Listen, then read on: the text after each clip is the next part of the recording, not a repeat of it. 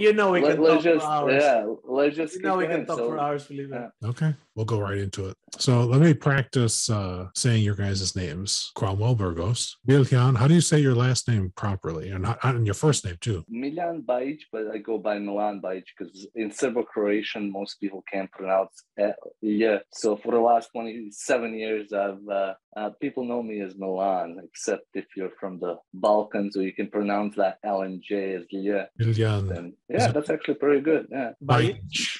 Like by each number. Ian Bajic. Did I did I I didn't tell you, Kron, but I have a cousin that his last name is Dabic. The beach. Yeah. exactly. It's getting, the show's getting better now. Mm-hmm. Miljan Bajic. Bilhan Baich. I love that. Miljan Bajic. Cromwel. Yeah, that's right. Bourgeois. Crom. Bourgeois. Bourgeois. It's bourgeois. Bougie. Cromwel Bougie. No, it's awesome to have you guys both on. So uh I appreciate that. And I'll just uh share a story about Cromwel that I, I still remember so vividly. We were teaching uh some executives and some leaders in the company uh the A3 process for problem solving. And at, at one point Cromwel and he's just amazing like you could see like how good of a student I am of his.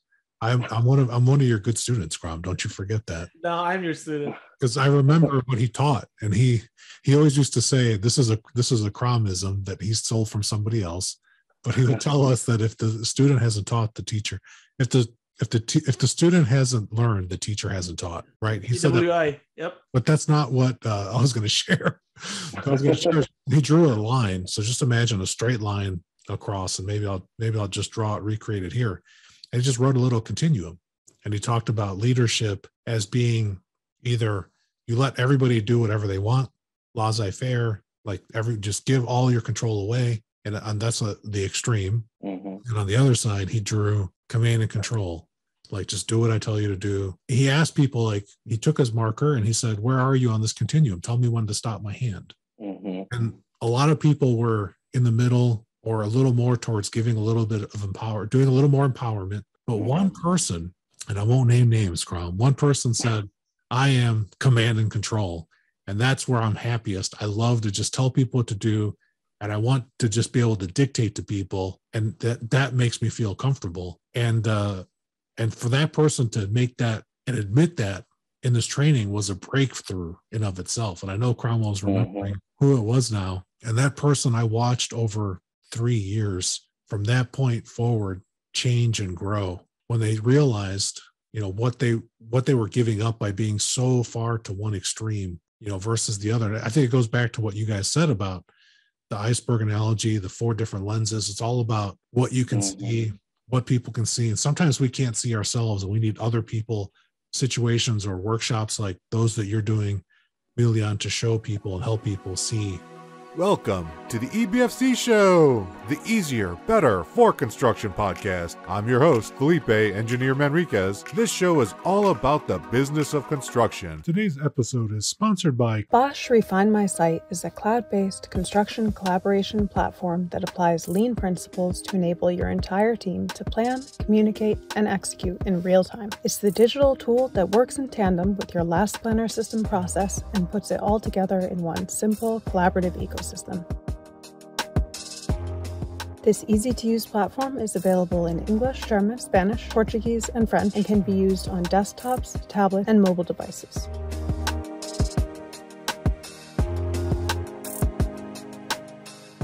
According to Spencer Easton, scheduling manager at Oakland Construction, Refine My Site, in my opinion, is the best, leanest tool on the market for last system.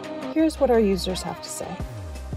We've looked at three other digital scheduling platforms and none compare to the straightforward approach Refine My Site takes. From milestone planning all the way down to daily tasks, this program gives every general contractor and their trade partners meaningful collaboration, accountability, and KPIs.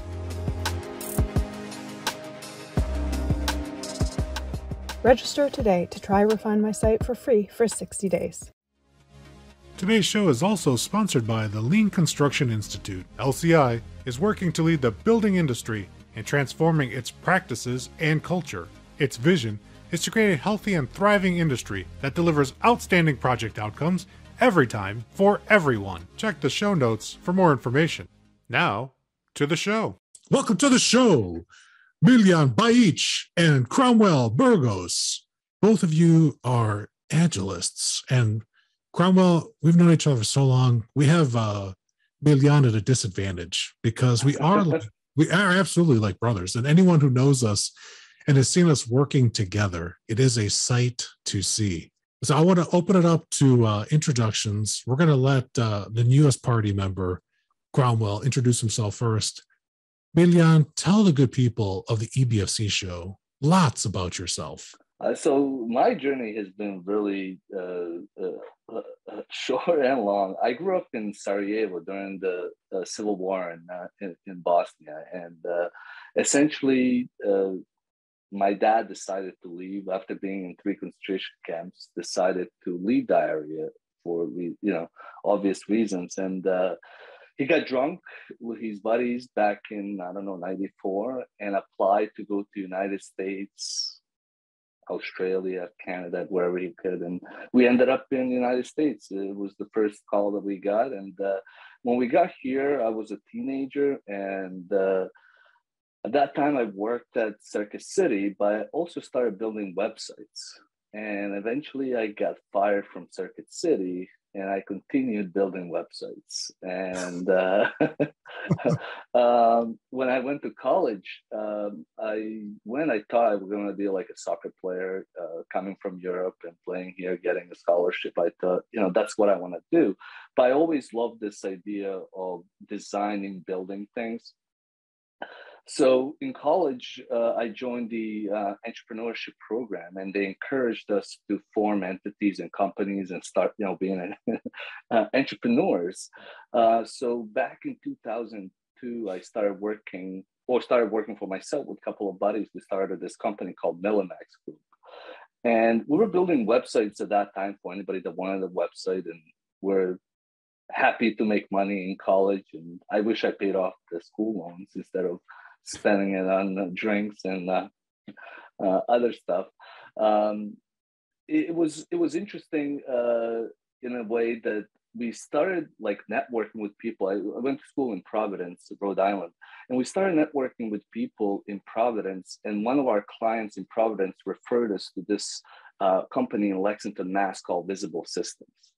And uh, as college students, we didn't have any structure as far as like how we work. We would play games and then work, play games, work really late at night.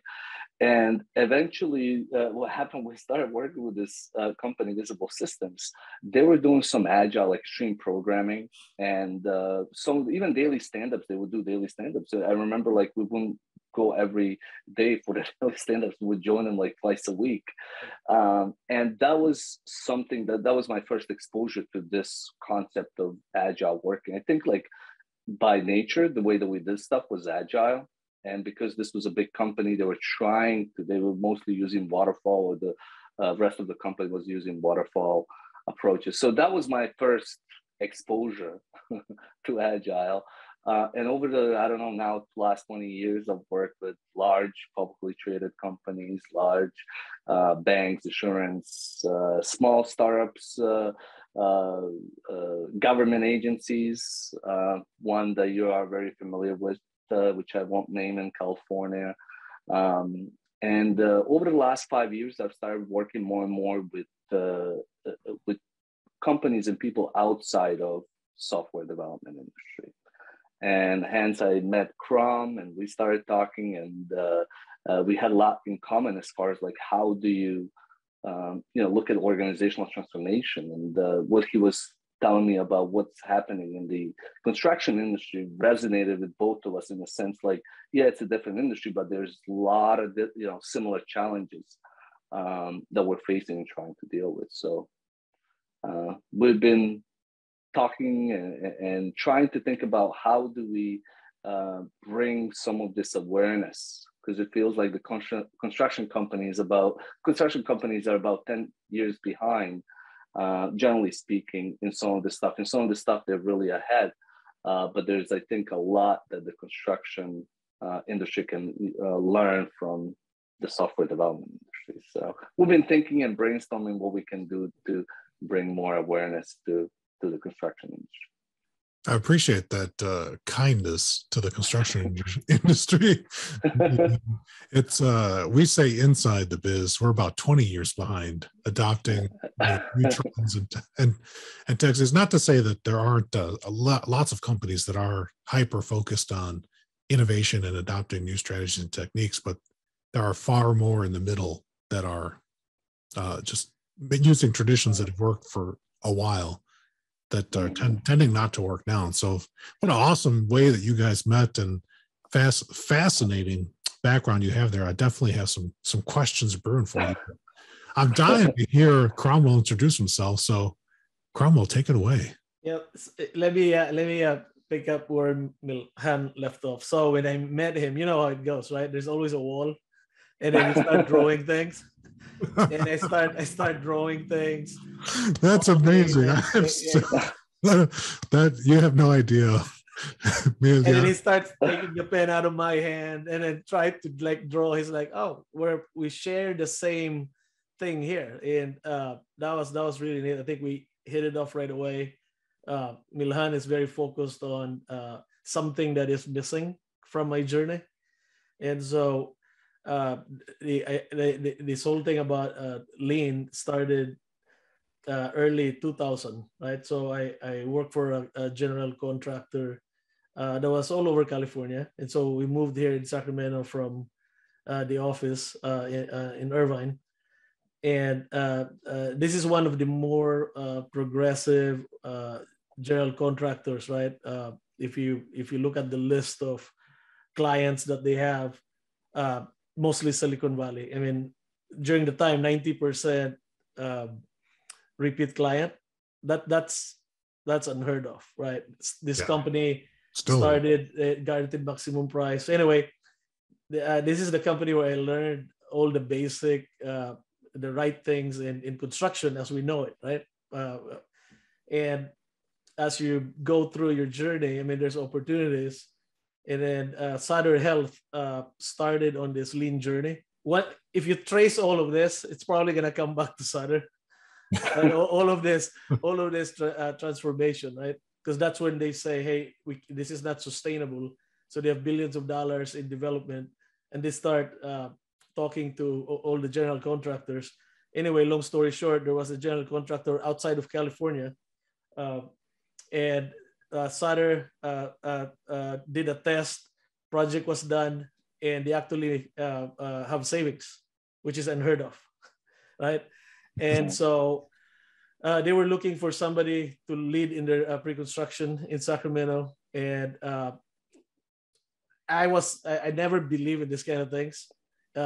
previously, the first Sutter got to get, I mean, it was like 2004, 2005 when they start talking about lean I was probably very skeptic, right? Uh, integrated project delivery.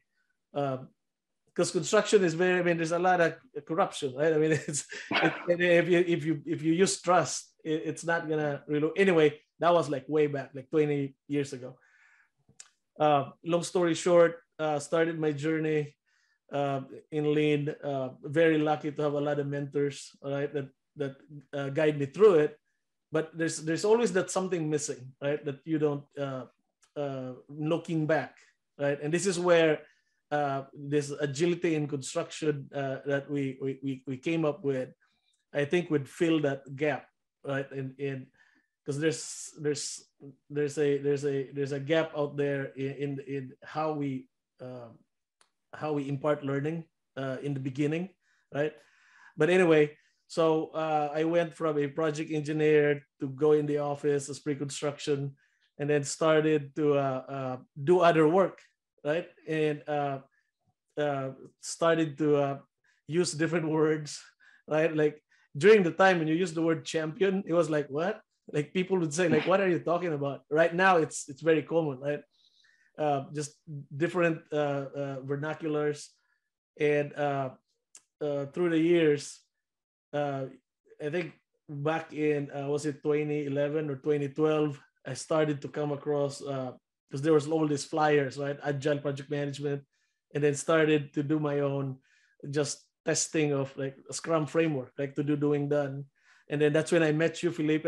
Right? We we it, back in 2016. Yeah, right? we used to work together. The first right. time, Miljan, you're gonna love it. First time, yeah. I still have the picture, Cromwel, because I favored it on my phone. The first time I saw him near a whiteboard, it was like watching a planet get drawn into a black hole.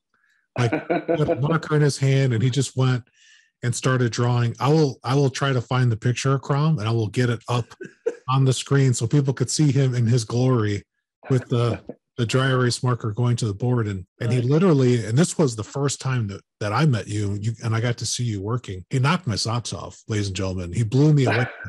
Unscripted.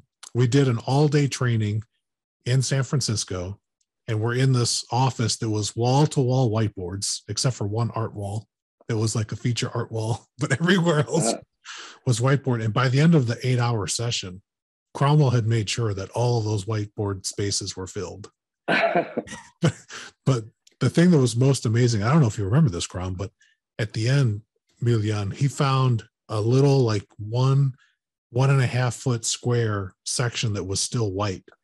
And yeah. he, he has a blue uh, dry erase marker and he did a quick calculation. He he turned around, he he counted how many people were in the room, and he said, "Oh, they hated that." And he said, "Today, today we spent twenty five thousand dollars. What's going to be our return on the investment for our training today?" And I was just like, "I was just in awe. Like that was the first time I think." In, in the 20 years that I'd been in construction, Crom, that was the first time somebody had said that training costs us money. Because a lot of people that's how we do it right? It's like hey yeah. it, it's an event right? We, you train and then people forget they just show up eat breakfast and lunch and then, and then like, what's next? What's next? Yeah and i think it's worth saying Crom uh, and where are you working uh, if you don't mind? What, what do you what uh, oh so uh, uh, again yeah. my journey uh, took me now into a company that does manufacturing and we still do general contracting so we're now in this uh, now I'm into this world of uh, productization. So uh, we're, we're now looking at markets rather than uh, projects.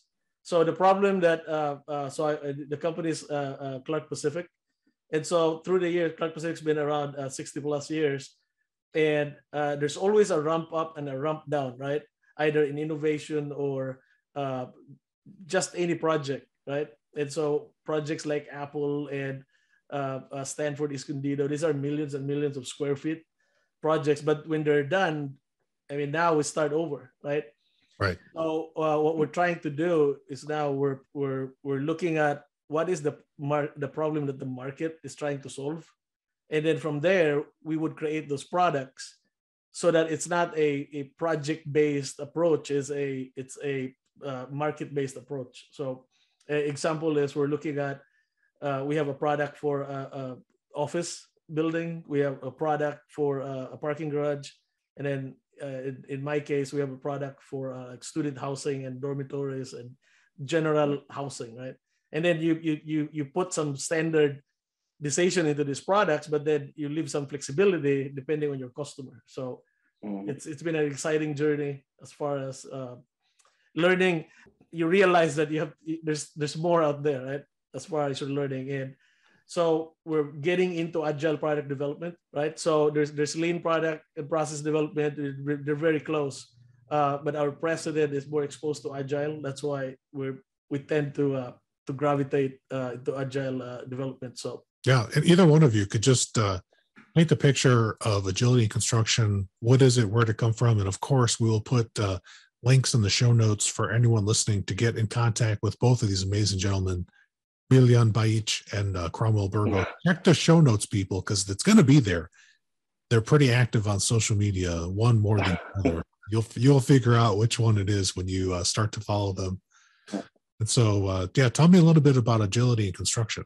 I can share my my thoughts on it in a sense, like uh, you know, it's not just I, I think you know uh, agility in construction. Agility you know in general like you know business agility it's really like ability for organization to be able to respond and i mean i mean just the actual because i'm looking at cromwel's picture Leon, it's not a trick question. Like I'm not on the next question. You're, you're asking us about the. the I'm asking the, about the website the, you have and the, yeah, the, and sure. the company you well, let, us maybe let's maybe yeah. let, us maybe define agility. Uh, uh, so let me just finish because it'll make more sense. Okay. Uh, I, I think so. In a sense, like because a lot of times we talk about agility, but what is really agility? And it's that ability for organization to respond, right? Uh, uh, and respond and benefit from change right?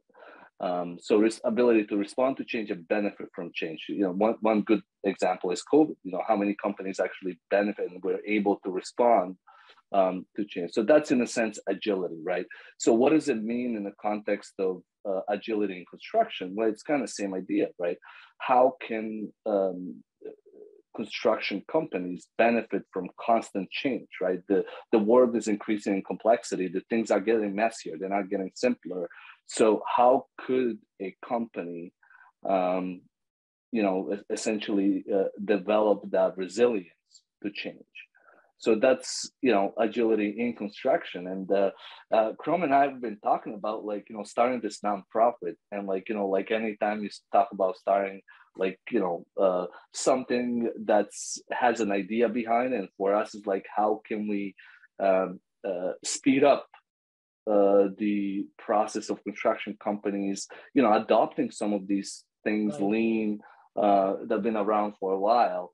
And in that process, we're throwing names, and uh, we thought the agility in construction uh, resembled or uh, portrayed, uh, you know, the underlying idea of what we wanted to promote more. I guess I don't know, Crom from your perspective. Yeah, so I, I, think the vision is really uh, looking at an individual uh, person that's struggling, right? And then uh, uh, you have a team. As an individual, you have a team, and the, there's been an in, in, increasing amount of information that we're bombarded every day, and projects are still two to three years to build, right? There's there's just a lot of uh, uh, complexity in in uh, not only the systems but how we manage now that uh, uh, you're dealing with all these different entities right?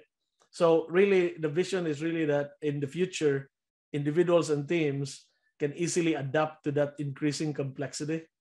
And uh, our, our, our again construction is an easy target because construction has been um, we've, we've been always compared to uh, uh, the uh, other industries and it's just there's just something in construction that is that is uh, uh, I, I can't put my uh, finger on it, but it's like there's there's a lot of resistance, right? There, there's a top tier uh, contractors and owners out there, uh, and they may just be 10, 20 percent. There's there's is a big gap in uh, understanding that how you transform and uh, keep evolving as a company.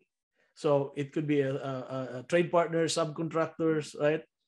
And there's just a lot of conventional things. So uh, we're thinking, hey, uh, maybe we collaborate with all these other thought leaders, including you, Felipe, right? You're you're right. you're kind of like a star in construction, right?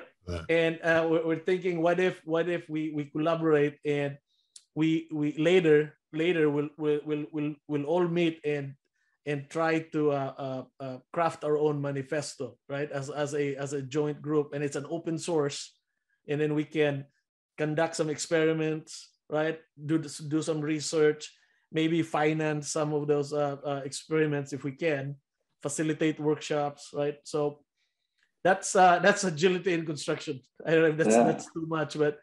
Uh, oh, it's a great. That's a great answer because a lot of people listening, and I appreciate both of you Miljan and Crom giving me that background because I mean, I know what it is. I live and breathe it every day, but a lot of the people in the, and it's not just unique to construction, many industry, mm-hmm. you're, you're, not, uh, you don't wake up and learn about this every day in life. Right. And for some, I, I'd argue, and you and anyone could argue against me that we start completely agile, and then through conditioning we become traditional. we, we lose our agility and then we have to relearn it and rediscover it again. But I want to get, uh, I want to go back to you, Miljan, and get your perspective since you're primarily working in other industries. I think your perspective looking into construction, working with Crom is going to be Mhm. priceless. From your outside in view, what are some of the biggest challenges that you see the construction industry has right now? I mean, I think the biggest uh, the biggest issue in construction, and not just in construction, is just like the status quo, and like you know, trying to to get people to uh, be open to trying different things, right? And understandings like uh, that in a uh, old or traditional world, uh, we had leaders or like this more of a uh, you know command and control, like where we had the people tell us what to do and we would do it. And in the world that we live today, it's more about self-management and self-organization. So the question that you know I ask is like, how many people actually don't want to move to self-management? Because in agile and these uh, uh, approaches that deal with complexity, it's all about self-organization and self-management. But people, you know, when I talk to people, and I think this is the same thing as construction, it's like, well, you know, um, this is my silo, this is what I've worked, this is what I went to school for. Don't ask me to do anything else. Or, you know, when we talk about changing the organizational culture, people talk about culture as this uh, uh, uh, thing, but it's really like, you know, how do we uh, how do we look at customers and solving customers' problems? And I think uh, that's another thing that, at least from my uh, far view, or not as you know, I'm not as immersed as, as you, uh, is how do we look at the flow? And how do we look at all the bottlenecks in organizations? And I think uh, there's a lot of, if I had to look at end to end flow and value delivery in, in construction, I'm assuming there's so much waste and nobody even knows. It's almost going back to what you said about Crom pointing out, like, you know, this is how much this training costs. And that's great. But, like, uh, you know, in a sense, like, okay, can we, uh, are we going to internalize what we're learning here? And, you know, what is going to be return on investment from this? Or just even having a discussion rather than going through emotion. Hey, we go once a year through these training, let's get it over with, and then we'll move on to something else.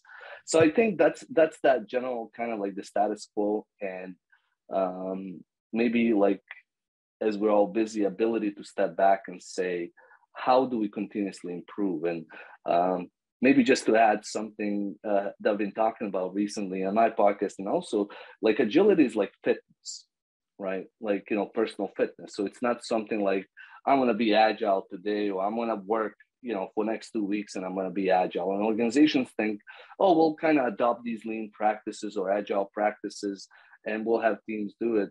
And, you know, somehow we'll become better or whatever we do. But it's more like fitness where like, you know, it doesn't, you have to have a mindset and it's a lifestyle that you have to embrace uh, you know, in a sense, like, you know, the lean principles of eliminating waste, right?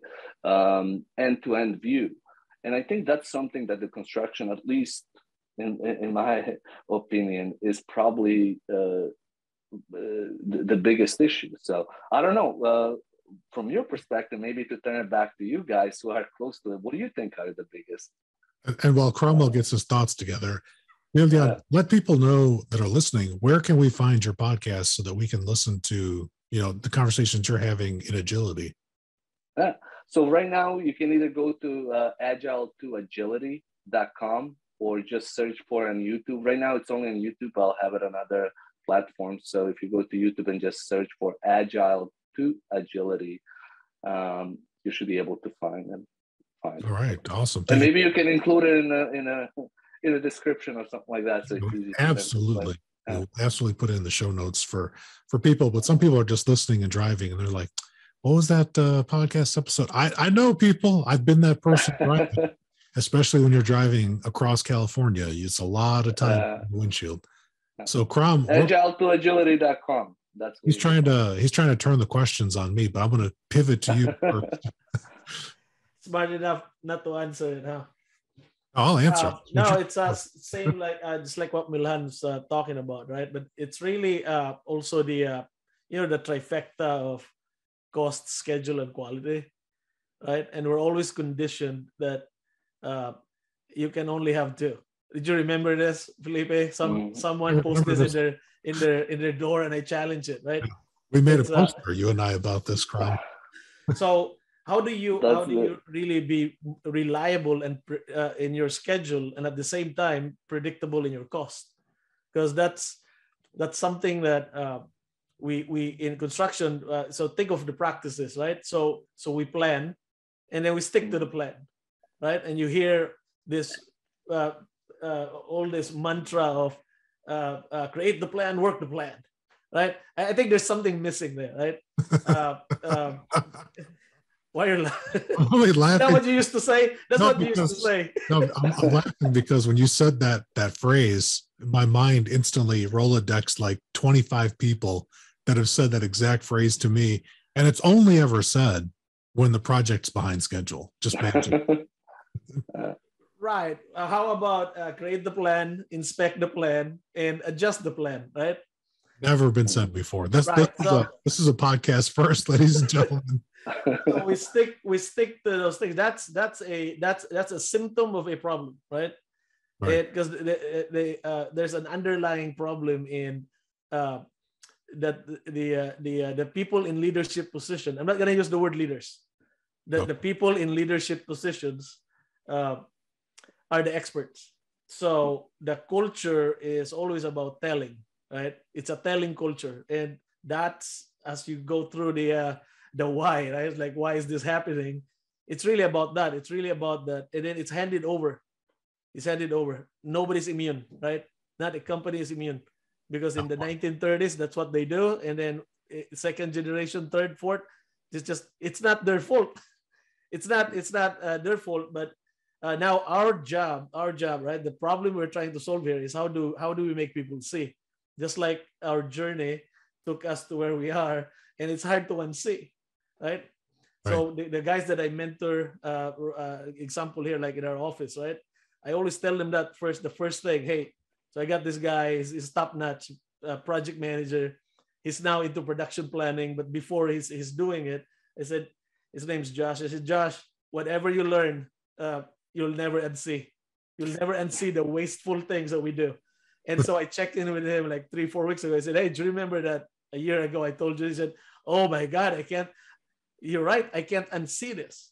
So Mm. I think that that uh, we need to break that cycle, right? Of that they're telling people what to do by exposing uh, uh, uh, the uh, uh, uh, be transparent with everything that we have, right? Our work, right? Our thinking, Mhm. right?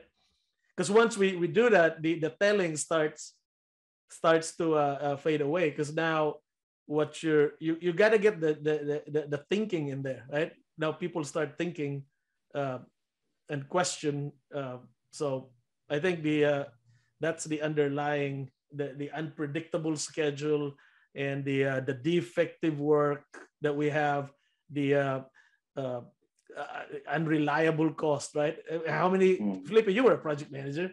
Yeah. Right? Yeah, Change orders are like part, it- it's, It's like breathing. it's exactly, exactly. Like And- and yeah, so- you have to have them. right. So, so how do you, that, that's a symptom of a problem, right? That you stick to something and you don't adjust, right? Now, in what we're trying to do, if we go back to uh, agility in construction, is how can we incrementally learn every hour, every day, so that we don't stick to the plan, right? We we we have a plan. Uh, we we we uh, we inspect our work, right? We inspect our whatever things that we're doing, and and uh, again, in construction we have last planner system, and the the uh, the last planner system. I mean, you're familiar with it now, right? It's Mhm. a it's a production uh, uh, uh, uh, process and tool that that we use. It's a Kanban system, limiting work in progress. But uh, the the thing that uh, I see that a lot of practitioners would miss is the uh, the last conversation, because there's there's five conversations in that that system, the last planner system. The last conversation is what did you do, right? That learning cycle on a weekly basis is usually what's missed and that's inherent in still in our in our culture in construction so Yeah. i know that makes Yeah. sense Perfect answer there. Yeah. Ahead, it, it reminded me of a couple of things. So I went to a conference a couple of uh, years ago, just before COVID, and they had like uh, this company was giving out T-shirts where it says like "I plan to replan," right? And uh, that's kind of you know a lot of times we take these estimates and you know we take them as commitments but i think you know one one aspect of construction that's pretty evident is that it's becoming less and less predictable right? And i think people are trying to embrace and fool themselves that you know it's still predictable and just saying like okay some aspects of it might be predictable some may not be but what do we do here? And i think uh, this happens in other industries as well. I just, just recently worked with actually a company in California, and they make uh, it's a combination of software and hardware. They make essentially robots for the warehouses to move things around, right? Uh, they are one mobile ones, the, the, the one stationary.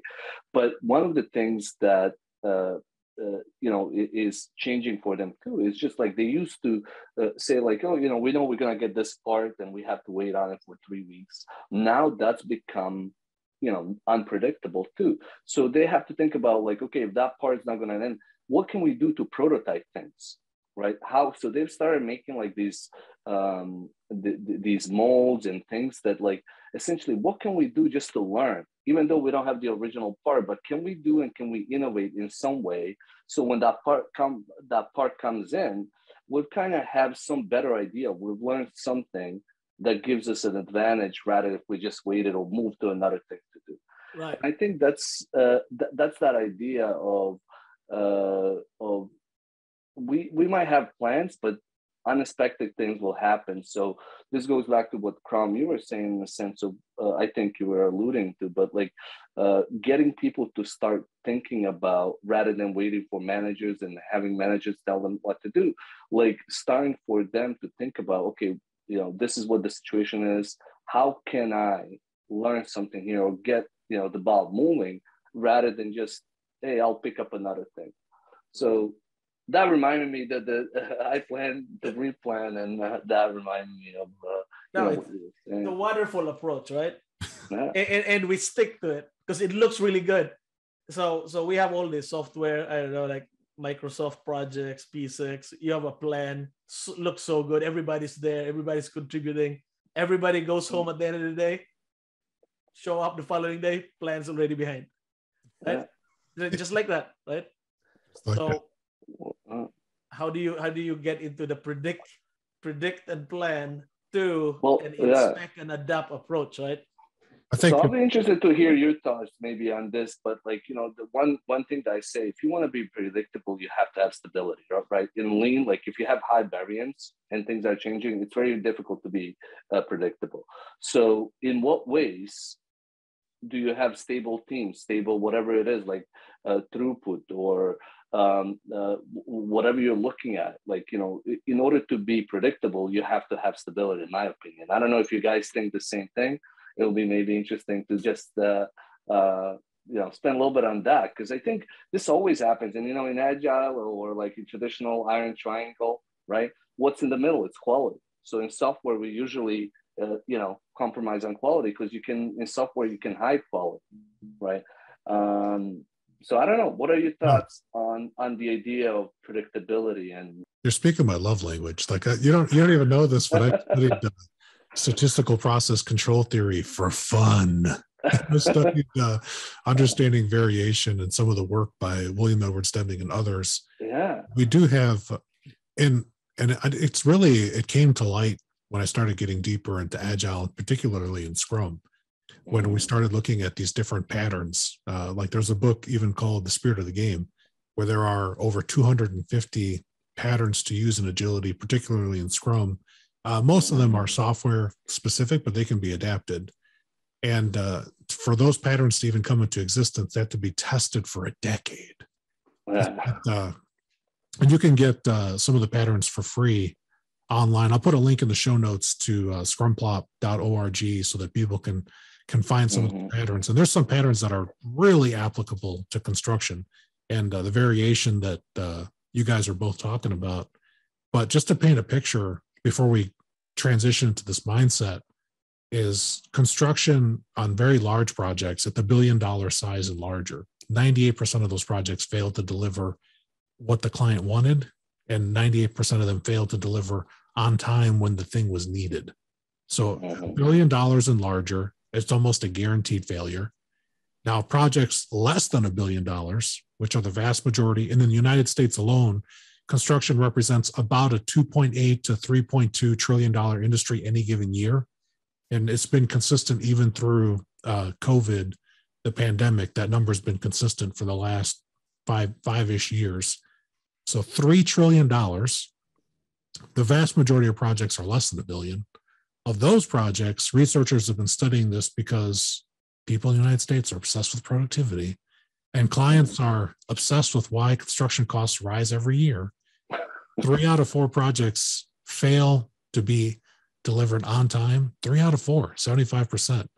Only 25% of projects less than a billion dollars are delivered on time. Yep. And of the 25% that make it, many of those are only completed with heroic efforts where people are working two shifts, three shifts mm-hmm. sometimes, overtime weekends, nights, uh, labor up and down, ton of variation, uh, lots of overtime, a lot of tactics that we know don't work uh, for sustained periods of time, and definitely have high human cost, a burnout. So that's that's some of what's wrong with the problem. I think you guys did a great job of hitting on, you know, some of the the causes of those things. So I don't want to beat that dead horse, but for people that don't know the industry that we're in, and where that compares to other industries. then the waste factor.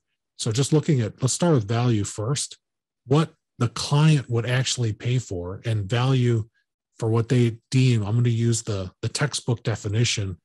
Something that is valuable, value added work is something that's information or material that's transformed or a combination of both in a way that the customer finds it valuable, wants it, and would pay for it, period. Mm-hmm. I think I might have a sound effect for that, but uh, I'll just go with that one for now. Uh, but you know what, Felipe? Like you bring up a, a interesting point because like uh, there were a lot of studies done, and like I remember the Standish group that did the study like ah, back in 2012. Still, yeah, and like, yeah, they do a case report every year. But but the thing is, like I think before Agile, really until we started taking seriously this iterative incremental approach like software development i remember like back then like they were saying like about 75% of software is never rarely used. Right. so when you said that like you know that that's like just a lot of waste. Like what we're talking about is just a lot of waste like you know in a sense like you know working on stuff that not adding value to the customer. People are you know if i'm building something and not seeing the light of day or i'm seeing that people are not using it, it's demotivating right i want to see stuff that I'm building that's actually valuable and that people love using it. So I think it has an effect on people and motivation, which is another thing where like I don't know what is it in your industry, but about 70, 75% of people in the United States that do knowledge work are disengaged at work. Yeah, we, we see the same exact values where yeah. people I, I talked yeah. to somebody just let me see, it was about four weeks ago. And they were they work actively in construction for a large uh, multi-regional contractor and they were they were talking about their work in using language that you would hear people in jail use. I've only got so many days left. I've got I've got these many years and these many, and then I'm out. And then and, and they and they said, and then I'm out. And I'm like, that, that's yeah. Right, uh, Ikram, you know. That's why I was I was I was yesterday playing golf with uh, Friday with a couple uh, guys. Same thing, talking about retirement. Like, and these guys are like five, six, seven younger than me. Yeah, people right. already, and the guy that I was talking to, sentence. younger than me. He was he was younger than me, talking about how many years he has left. I don't think that way, but the but you're totally right. It's the Gallup poll that surveys people on engagement at the workplace, and it, and we know that engagement is sub seventy percent across almost all industries mm. worldwide. Right and, and, it's, it's, it's sad, you know. Like you know, we talk about. Part. I just got, I just got my last little nerd out, and then I'm I'll let you go back. But for people that don't know, like researchers have tried to pin down in construction, like how much is value add versus waste, and it's hard depending on what study you read. But the consensus is somewhere between 50% to 80% of all actions taken in design and construction does not produce value. Let me repeat that yeah, 50. It's, it's way a, more than that. It's a range. And Cromwel's right. We know that it's higher. When you're in no, it. No, no, it's uh, the waste is more. Yeah, the waste is more. Yeah. But uh, yeah. research, they they argue on what it is. And when you introduce the design part, the numbers skew more. But it's somewhere between half of what we do right to more than three quarters of what we do, probably 80%, does not produce value. If the customer had a choice to pay for what you were doing or forced to do, they would say, no way, don't do it. Like eight out of eight out of 10 things that you do, they would not want you to do. And in the value stream, people down the stream from you that receive your work, same for them. We do a lot of things that that doesn't. Okay, now I'm going to get off my my soapbox. but you're like, you seem to be passionate about this it's, thing. It's, yeah, no, it's really interesting. Why, why, why are you getting like, angry now? Like, yeah. he sees waste and he gets angry. Oh my! It's it's, it's everywhere. It's like I see waste everywhere. It's not like small amounts of waste. I think oh, it's, it's just it's like it, it's like it, it's. It, and I see this in government. I see this everywhere. It's like you know how if we're just like I feel like if we just adopted some of these simple principles, like visualizing, like understanding end to end, like flow delivery, organize. This is another thing that, that uh, I, I definitely wanted to talk about, but like organizational structure, right? Organizing by products and like minimizing the handoffs, minimizing the, you know, how like lack of understanding of, you know, what value is and how we deliver it. And I, I, I agree with you, Felipe. It, it's it's it's demoralizing to see how much is you know uh, just non-value added stuff. And, right. Uh, it's the, the only reason I get so mad, and Cromwel knows he's stayed up with me many late night, uh, and we've had many late night conversations talking about this because time is limited. Like the time that we have every day to do things is absolutely at some point I have to go to sleep. At some point I have mm-hmm. to recharge my battery. And it's not unique to me, it's everybody. And and so many people have their time wasted every day on just things. And it's not nefarious reasons of why their time is wasted. It's just how the system is set up. And what you just what you just hit on, Miljan, on talking about organizational structure, you know, the everyday person listening to the show doesn't have enough awareness of you know a systems approach. And I heard I heard Dave Snowden on your podcast just rip systems apart, which I thought which was awesome. how he talked about how most people get it wrong. And and they do, and they do get it wrong. But I think, you know, what are some things that people listening to the show, where can we let's bring it home to the people listening. What can they do? What what from lean, what from agile can they bring into their to their work tomorrow? Or today if, if it's the, if they're driving in listening to the show. Hey if you're driving in listening to the show thank you for listening. And uh, don't be afraid to hit a like you know it's not going to kill you. When you're safe not while you're driving when you're in a safe spot hit the like button and share the show with a friend. Thank you so much. I think you got to keep it simple right? So for for those that are listening I, I think uh, you have to start where you are right? Meaning if you're a project engineer start w- within your influence and if you're a vice president start within your influence. And um, just again start with simple things like probably the number one thing is just exposing thinking and exposing work. And and from there you can now uh, rally around uh, the problem right so so you, you, can organize around the product. So that's what we do, right? We we, we productize the product. In in your case, if you want to start something, uh, starting where you are means um, start uh, organizing around problems. So let's say if you're a project engineer and you're struggling with something, um, look for the people that are affected by the problem and then start exposing the problem Alan Mulally would say you cannot manage a secret, right? It's hard to manage a secret. So expose the secret. Use use this. Let me look for it here. Post-it notes, right? If you don't oh. have anything, expose it, and from there, you you you craft and agree on the problem statement. My experience in construction, we're very good at proposing solutions, right? So that's not the problem. The solutions are not the problem. There's a lot out there the problem is when you when you don't know where to start and you're you're not as a team agreeing on the problem you're trying to solve. And that's when agility would come in when you start proposing all these things because uh, you may have five different proposals and you don't know which one to start and you just all agree let's start one and then let's just adjust right? And then suddenly you now know how to work with each other and then yeah i think that's the simplest probably the first step right start where you are beautiful how about you uh, Miljan? So maybe uh, I've been thinking uh, in a sense of uh, you know uh, what is the biggest issue like over the last twenty years, and this is maybe not the, for the listener, but maybe just for for their bosses and their bosses.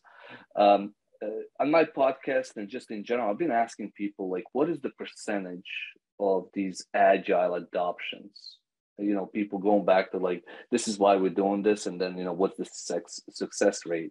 And it, it, it's close to zero right? For a lot of these. And the, the, the follow up question that I ask is well, what's needed for the organizational change or organization to become uh, responsive or agile, whatever it is?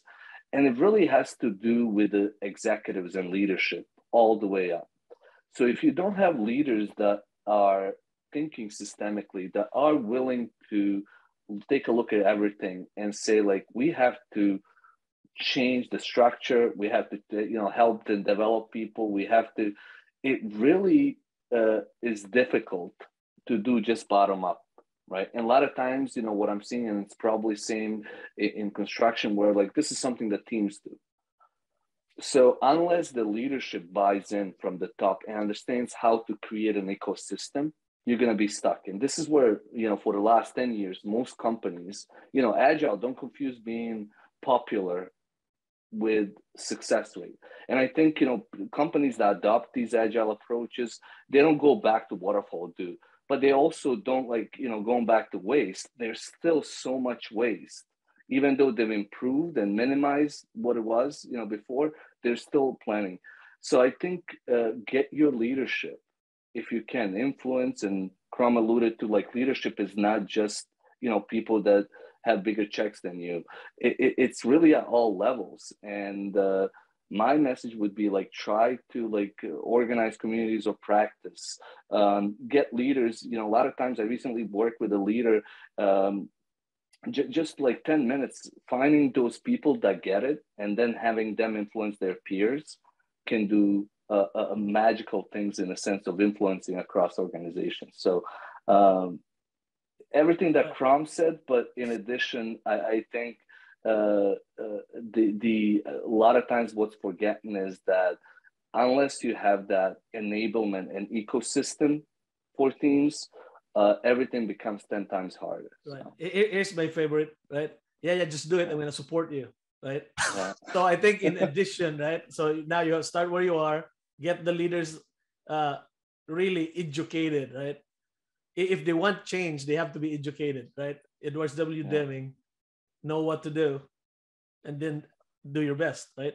Leaders, when they say, I support you, you're just being tolerated. You're just being tolerated, right? If they don't know how to support you. So, Miljan, that's a that's a great uh, uh, uh, the, the, two of you together are powerful. It's uh, and, and you said before too, and I don't know which one of you, I can't remember. You said too, make things visible. So make mm-hmm. make the problems visible.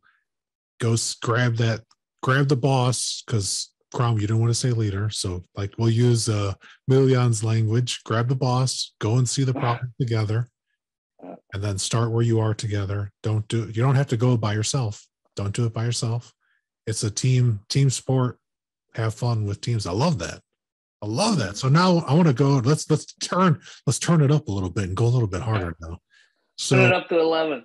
Yeah, we're gonna go all the way to eleven. For those of you still old enough to know what that reference is, I'm sure the Gen Z has got it down on the meme game. They know what it means to turn it up to eleven. so uh, in, we'll go back to systems for a second. You know, organizational structure we talked about a little bit, and there definitely are policies that hold people back. What what's an example of that so that people might not be aware that they're operating inside of a policy that's preventing them from having throughput and flow?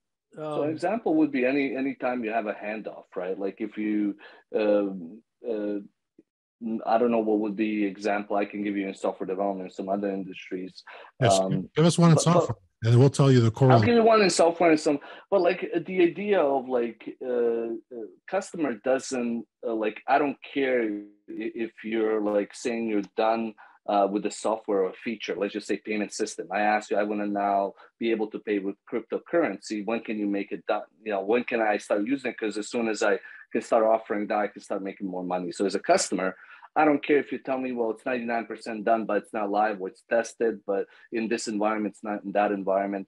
And a lot of times, what we have in software development is these handoffs. You have somebody that's responsible for requirements, then somebody will design or develop, then testing. Then there's like a bunch of different testing, and then we don't trust these people to to release it. So you have like a release department that's uh, making sure that you know nobody messes up things. So when we look at it now, at least in more mature software development companies, we look at it end to end. How can we create and have dedicated team that can d- deploy that request as quickly as possible to production?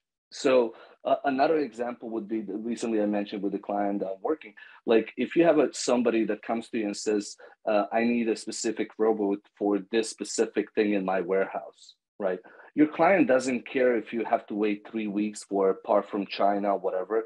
They're they're trying to solve their problem. So if we look at how we organize in our company by products or in some way, you know, however, that we can get uh, what customer wants and a lot of times they don't know what they want. So you might have to deliver and they're going to say, yep, that's what I asked for, but now I, I, need this tweaked, right?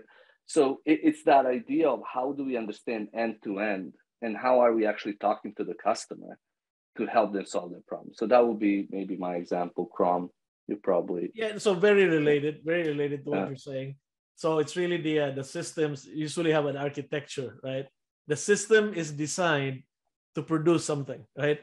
and you you, you usually get you, you usually get that right so if you look at the hierarchy right a hierarchy has uh, some advantages right because the the uh, the uh, your career path is clear right your uh it everything is you don't have to think right i mean it's it's you know how it works like i report to somebody that somebody reports to somebody right but then mm-hmm. really that hierarchy is very slow right? And this is where it's not agile, right? It's it's like the uh, pyramid of Giza, right? It's uh, rigid, it's robust, right? But when God forbid, right, there's gonna be an act of terror. It doesn't matter if what if it stood five thousand years, right? It's gonna be destroyed. So I think uh, looking at your systems, and people talk about this, it's just so hard to implement, right? Is uh, hmm. creating network amongst your teams, right? And, and maybe that becomes a, a, policy that that's the secondary operating system. So you have your primary hierarchy that you need for efficiency, but that's no longer enough, right? It it it has to be uh, yeah, uh, organizing around what Miljan's alluding to is don't organize around your departments, right? Organize around the value or, yeah. Yeah. Organize around the value stream. And because the value stream is where networks are created. You can see the loops, right? So if you think of a value stream map, it always starts from a customer, goes to a, a, a production system, and I'm now talking manufacturing talk, and then from the from from the production uh, uh, system, it it goes into the uh, uh the steps and how you create value, right? But you can see that there's different loops that you you go through, right? from from the, uh, the the customer and the delivery and where you pull from that that uh, what we call the pace setter in your in your in your value stream so i think looking at your uh, hierarchy and then creating a secondary uh, operating system of a team of teams as a network is something that uh, can be uh, that's, yeah and the idea yeah, it, right? yeah and I think the idea of systems is so broad that, like, you know, in a sense, like, you know, where do you start? But the uh, uh, it, it's really like that there are a lot of interrelated parts, and that uh, the building itself, right, might be pretty stable and like you know once it's built, but the process of actually uh, uh, making that building into that stable structure is a very you know complex endeavor and how you the system to, to deliver that um, needs to be, I guess, you know, uh, uh, uh, designed in a way that you can solve the problem. And uh, you know, uh, one major part is that you have to start the project with assumption that it's unpredictable or that there's some aspect of it unpredictability. Right. So depending on the like, phase, right? Yeah. yeah. Well, exactly. So the like, environment, depending on the environment. Now, now we're going back to Snowden, right? What is the environment, right? Exactly. Right. Complicated Simple environment. Is it? Yeah so maybe like you know just to conclude is that, that a lot of times and you know you remind me Crom is like you know contextualizing you know it's not just you know one approach or the other but actually understanding what type of system are we working what we're trying to do and then contextualizing our tools. In a way like if we're in desert we, we, we, probably need different tools than if we're in forest. And it seems like in most industries it's one toolbox for everything so. Right right. It's really like I don't know, you guys play golf, right? It's like playing golf. You have 14 clubs, and every situation, it's a different club. At the same time, it's a different, the process of using the club is different, right? If you're under a tree, which we're always, you have that slice. Me, yeah, you're playing with me, Crom. We will be under a tree. so, what my point is, my point is the, the processes and tools are really are, are, are there, but that's not gonna give you agility, right? What gives you agility is how you use the how you use the process of tools in the context of the situation, right? Because once you're like in our manufacturing, once we start manufacturing, that becomes a, a, a simple environment, right? Where we can apply our best practices. But before mm-hmm. that, before that, all the prototyping and everything we do, there's there's we're, we're, we're going to be in a complicated environment where we just adapt our good practices. But during design, design is a is a complex environment, right? Not not only not only because design would move, it's like you're dealing with people, and, and when they're having a bad day, right? It just this design is is in the in a complex or chaotic environment. So I think understanding those things uh, as you're you're trying to change your system. I think both of you are you're hitting on it from coming in at different angles, and I, I like it. You know, for the listener, what they're describing is with this network or this team of teams approach for the systems. Have some conversations with people you work with or inside and, and reach out to the two of these individuals as well. And i always encourage everybody to reach out to me with questions. Uh, if you want to learn more about this or, or, you know where to get started with this there are there are better and less good entry points depending on where you're at but there are probably people that you work with that would be willing to network with you and start to play in these different areas. And that's now where we're starting to talk about culture and how organizational culture could look. And we talked about agility quite a bit. We talked about lean, and I love that Cromwel said, "What problem are you trying to solve?"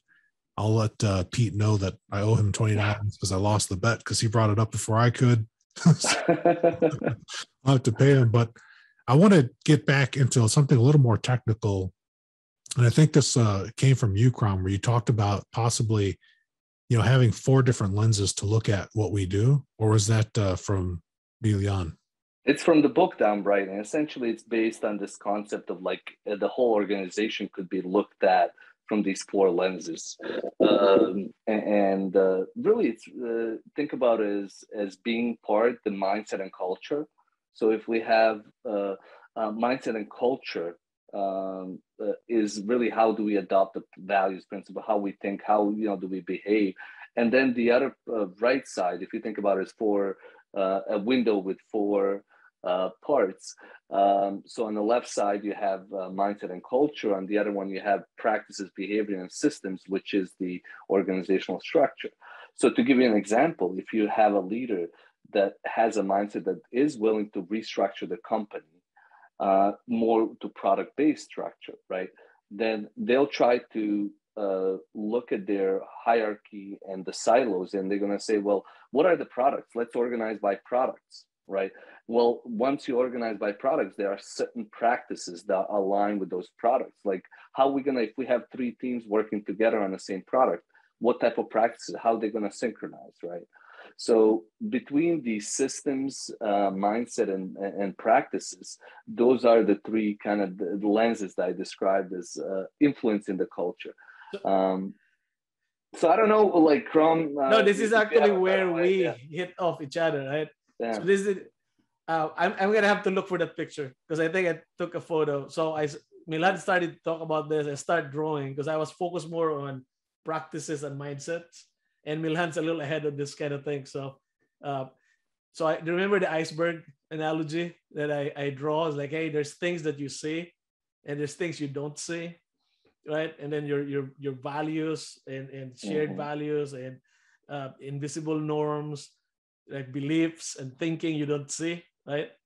Right. So that, that's that's I think that's where the culture is, right? You don't see it, but uh, you can see systems and architecture, but there's things you don't see that are more more dangerous, right? Because if you don't share the same values, that's everything will fall apart, right? So anyway, I think I don't. It's, it's a very, it's a very, yeah. I guess it's a very complex topic uh, to look at the whole organization and see how do we uh, we can't just focus on changing the practices we have to look at the culture mindset of people and also organizational structure um, so there's really i know we're pretty close to finishing there's not really a quick way or at least what i don't have a quick way to explain besides what i did earlier but you just have do to do it your way Miljan. don't do it the quick way do it the slow yeah. the slow predictable way yeah. trust yourself go for it yeah. Well, it's just that it, goes back to that. Uh, depending on the leadership, if we if you have leadership that craves control, right, they're gonna tend to generally create structures that are more, you know, I don't know how it is in your, but like a lot of people that are ego driven in uh, you know most organizations will want to be head of a department or it used to be like you know depending on how many people report to me that's you know how uh, my paycheck is determined or how my influence is determined so if you have leaders that won't change their mindset to change the structure because like a lot of this has to go with letting go of their you know influence or, or their ego uh, then that's going to reinforce the culture of silos and functions, right? So there's this mindset if you have leaders that are willing to restructure their organization by products and flatten the organization, then you're going to get a structure that's more like what uh, Crom said, like more of a network and less, uh, uh, uh more focused on delivery, right? So th- those are, I think, maybe if I had to, uh, those are the two things that go back to the leaders um, the the behavior, right? Like a lot of times, if you have uh, leaders that uh, uh, not walking the walk. Like for instance, I expect you, Felipe, to visualize your work, but we won't visualize our work. You know, you do agile or these approaches, but you know, it's not for us, yep. right? So that's that behavioral part. So those three between the mindset, uh, mindset and uh, structure and uh, behaviors, that's going to kind of influence what type of culture you have and what kind of uh, you know norms uh, and shared beliefs you have. So um, I have to work on this in the sense that I don't have a very succinct way to explain it as I'm learning more and more about it. But um, maybe as the biggest takeaway is just uh, look at your organization holistically. Don't just look at the practices, but look at the you know how people think about solving problems what type of behaviors solve support that thinking and then how does the flow in organization where are the handouts where are the bottlenecks that would be yeah. yeah. No, i think miljan you, you hit the nail there. Yeah so most organizations they have their like what what are our values right? That's why it's forced upon us right? So like in our case we have three values and some companies have three values right? Some have 5 mm-hmm and they're trying to rally around those values right? Because values would would be a rallying point. And then that's again it it's the collective thinking right of the organization. And i think that's that's culture. That's and the, the, again you, you can't see it. So i think that's where the challenge is. Yeah i do this i do this fun exercise in, in the training essentially where like i walk people through these four value four four lenses. And essentially they pick what they do in each of these lenses like you know what type of leadership do we have? What type of structures right? And uh, essentially uh, uh at the end of this exercise uh, you know the general uh, uh, feedback is now i know why my organization is so fucked up and, and, I don't know if we can swear here, but that's really like Yeah, this it, is it, not it, uh, safe for children. This is an adult. This yeah. is, this podcast is. it's but that's really like what. And I remember, you know, one of the guys specifically saying that recently. Like now that now things make sense, right? Like now I know. Um, so, uh, so, so I don't know. Uh, maybe you can provide. it. I have written about this. Uh, I'm actually doing a short video uh, on these four lenses, and I'm writing a book on it. So hopefully by the end of this year that'll be out too. But um, it's a holistic way to look at the organizational change uh, through these four lenses. Thank you both so much for spending mm-hmm. your time with me on your OT, your own time. and I want to give uh, each one of you the last words before I play the music. But uh, thank you so much for being on the show. It has been my it's been an absolute treat having the two of you on together, talking about one of my most favorite topics in the whole world, agility. Uh, thank you for having us. This has been fun, and I feel like we, you know, what's tough with these podcasts is like, you know, uh, uh, there are time boxed, uh, and uh, there's a lot that we could be talking about. But thank you for having us on. As a as a last word, um, uh, relentless improvement. I think, you know, a lot of times people talk about improvement, but uh, what I've seen the teams that succeed and are really good is they relentlessly look at how they can improve. So don't just talk about improvement uh, relentlessly. You know, focus on improving all the time. So. Now, Felipe, thank you for having us. Miljan, I mean, this is this is a uh, I, I, enjoy talking about this kind of thing. So I told Miljan, don't worry about content. We have five days of content, right? That's right. Uh, I think for me, it's really just uh, uh, expose the work, expose what you think, and uh, write it down, and then let everybody see what you're thinking. And from there, let's let's talk about where we want to go together. So show the problem. This is our problem, right? That we are the only ones that can solve, right? Uh, collectively, uh, if you expose things, there's there's it opens up a lot of possibilities. And maybe just last, uh, maybe invitation to the listeners and others, like uh, we're trying to create a platform. We're organizing conference, uh, Crom and I, through this agility and construction organization. We're trying to create more awareness and um, bridge more of uh, people for construction and other industries. Because I think if we just reflect back of how much like Deming and like what came out of Toyota with Toyota production system influence other industries and agile was born out of that that we can learn from each other. And there's a lot that we've learned in software development over the last 20 years. So connect with us connect with other professionals. There's a lot that we can learn from each other and help each other. So that's my invitation. Very special. Thanks to my guest i'm felipe engineer manriquez The EBFC show is created by Felipe and produced by a passion to build easier and better. Thanks for listening. Stay safe, everybody. Let's go build.